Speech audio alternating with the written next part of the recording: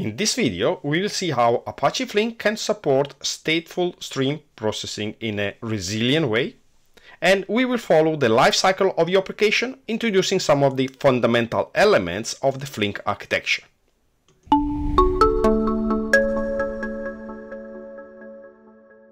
In the previous video, we have seen how the logical graph of the application is resolved into the physical graph that actually does the parallel processing of the data.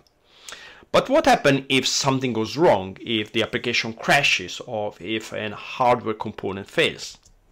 We have seen how the application may keep state over time, the count of trips to airport for example, and we have seen how Flink sends all the records with the same key all trips to the same airports to the same processing node. This way, we may keep the state of a particular key or the count of the trips to a particular airport stored directly on the node that is receiving all the record of that key. We also know that Flink distribute the application or can distribute uh, uh, uh, the application across multiple machines and this is the way Flink can scale horizontally, adding more smaller machine. And let's pretend, for example, that our application is running on a cluster of four machine. The state is stored in the memory or on the disk of the nodes that are actually calculating the trip count. And something very important to understand is that the state is per subtask. So each subtask has its own local state or the state of the keys, the trip to the airports that that subtask is handling. And the state is not replicated across subtasks or across the cluster. Not replicating the state makes Flink more efficient. First of all, because state can be partitioned. So if you need to have more state, to hold more state, you just add more machines but also because this reduces latency. If you had to increase the count accessing an external database, this might take only a few milliseconds for each record, but latency adds up. And if you want to scale to big throughput and process millions of records per second, the latency impact would be very important. And most importantly, this would not scale. But without replication, we might have a problem. So if one of the nodes crashes, the state held on the particular machine that we lost is also lost. We literally lost the count of the trip to the airports that were handled by the failed node. And if we replace the node and restart the application, the count for those airports will just restart from zero. The output is no longer correct and our application is not really resilient. Similarly, what happens if we need to restart or redeploy the application to a different cluster, for example, to scale?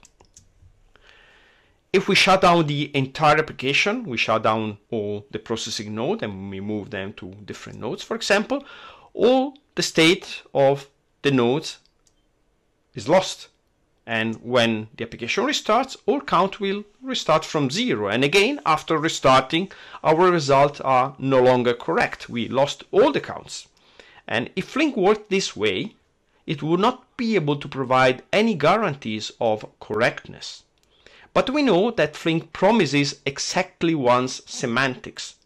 Or more precisely exactly once state consistency guarantees. The promise is that each trip is never counted twice or not counted, even in case of failure or application restart or redeployment. So how does Flink provide these guarantees? To prevent inconsistency in case of failure, Flink uses a mechanism called checkpointing. While the application is running and data is flowing, Flink periodically saves the application state or checkpoint it. The state is copied to an external persistent storage like Amazon S3. This is a type of storage that is intrinsically redundant and replicated. But most importantly, a storage that is external to the machine that are running the application. and checkpoints are a copy of the state. The processing nodes are still using the local state to keep the counting. Also, checkpoints are a snapshot of the state of the entire application at a consistent point in time. Flink executes checkpoints automatically at a fixed period. You can configure this period, but it is usually quite frequent. Let's say, for example, every minute. But to provide exactly once consistency guarantees, just copying the state of the stateful operators, or the trip counts in our case, is not really sufficient because the state, the application also has some hidden state that has to be saved. In particular, Flink has to save the point the application is reading from the source system at the moment the checkpoint was taken. If we are reading from a Kafka topic, for example, these pointers are the offset of the partition. And we also need to save the partition assignment to each subtask to be able to restore the application exactly as it was at the checkpoint. Some sinks may also have state. For example, some sinks that are doing micro batching while writing to the destination system, and this is a technique to improve throughput, may keep the buffer data into the Flink state. The source partition and the sink buffer data, they are all part of the Flink application state along with the state of the actually stateful operation like the trip count and the checkpoint mechanism takes a consistent snapshot of all of this to the remote persistent storage. And Flink does it automatically and periodically, retaining at least the last successful checkpoint. Something interesting to be noted is Flink doesn't use a naive stop the world approach to take the snapshot. Something like freeze the application processing, take the copy of the state, and then restart. This would be easy to implement, but very inefficient.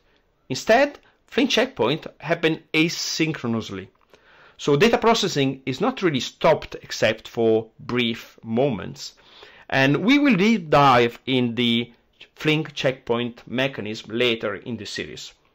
For now, let's switch to see how Flink uses checkpoints to restore the state.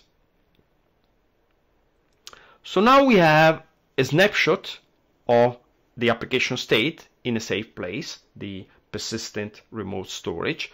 So what happens if we need to restart the application with that state? So first, Flink deploys all subtasks to the different nodes. Then it restores the states of all operator from the latest checkpoints, including the state of the sources and including, if present, any buffer data in the sink or any other saved state.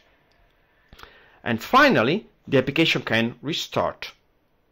Note that storing not just the count, the trip count, but also the position and the partition assignment of the sources allows Flink to restart exactly at the point of the last checkpoint without missing any input record and without considering any record twice.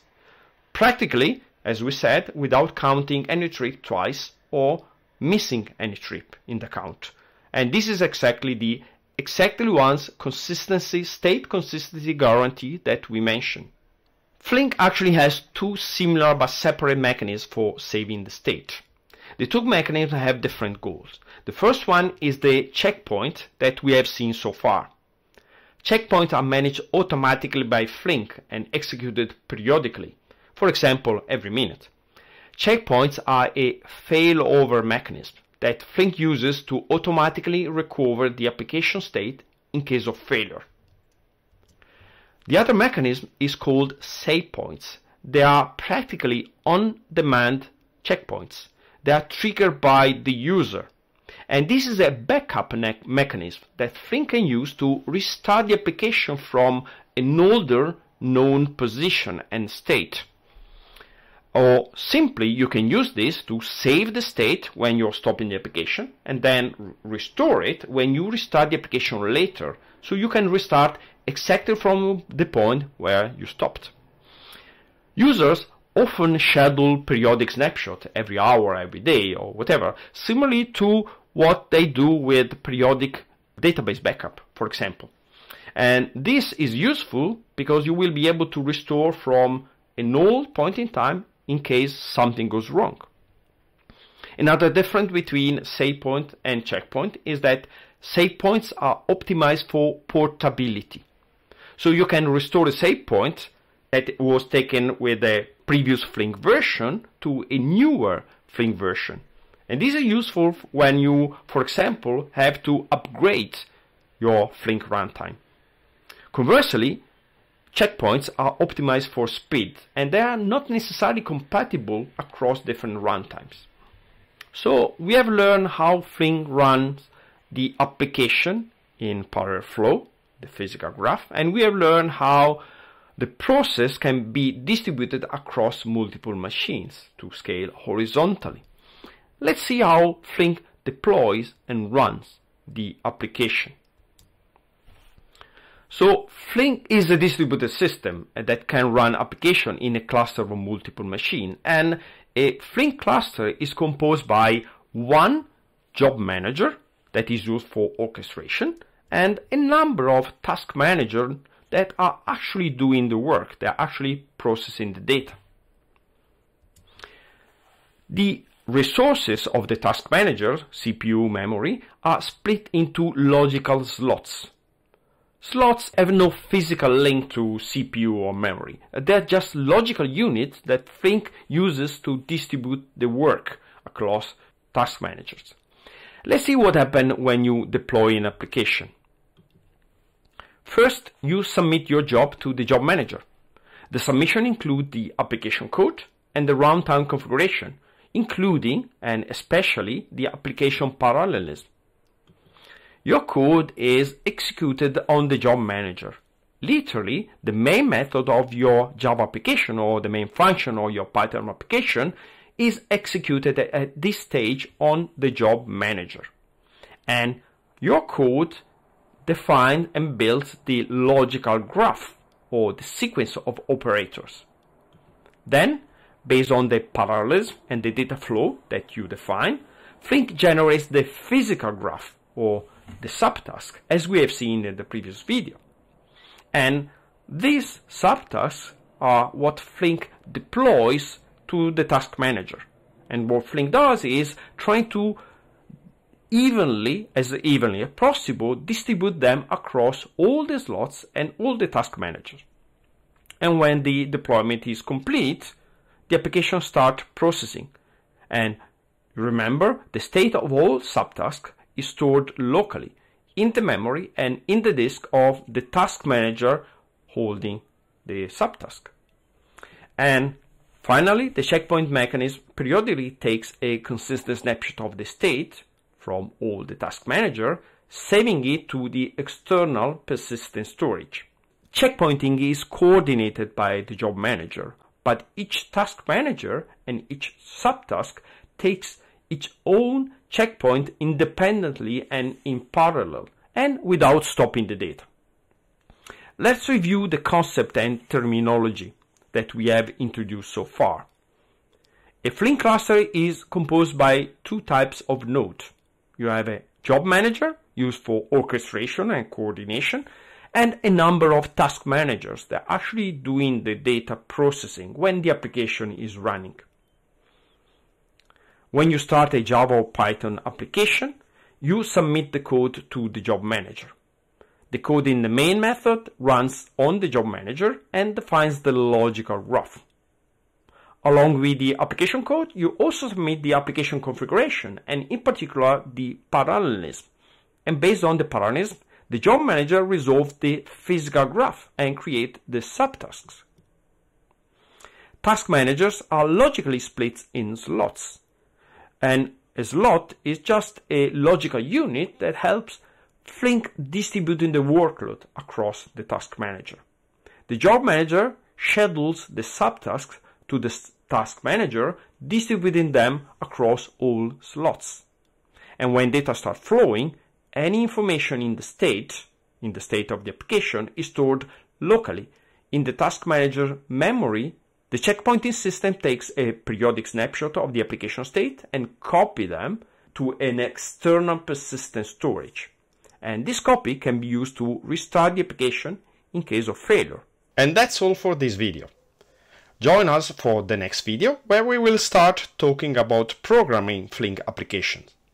As usual, please leave a comment with any questions and thank you for watching.